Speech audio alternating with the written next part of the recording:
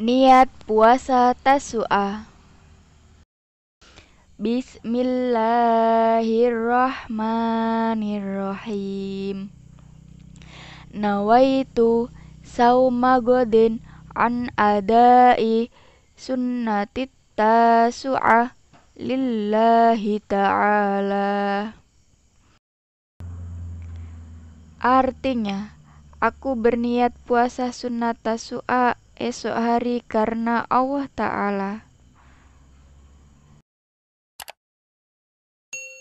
Niat puasa Ashura Bismillahirrahmanirrahim.